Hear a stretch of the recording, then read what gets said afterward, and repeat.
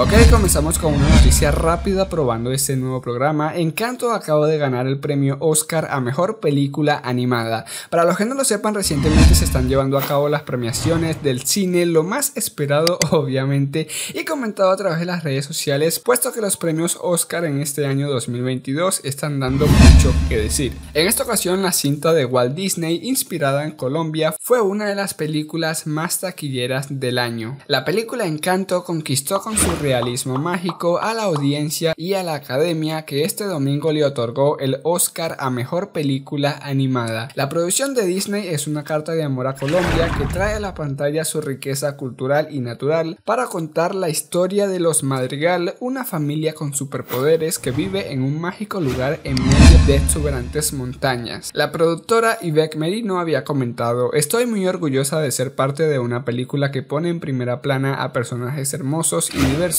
y que personas de todas partes se vean reflejadas en la película. La producción también está nominada a la mejor canción con Dos Oruguitas que interpretó en la gala el colombiano Sebastián Yatra y compuso Lin Manuel Miranda. Esta película también había quedado plasmada en animación junto a las nominaciones de Flea, Luca, La familia Mitchell vs las máquinas y Raya y el último dragón. Enhorabuena, Encanto acaba de ganar su Oscar. Todos sabemos que fue porque en esta película salió Maluma, pero bueno, por la animación.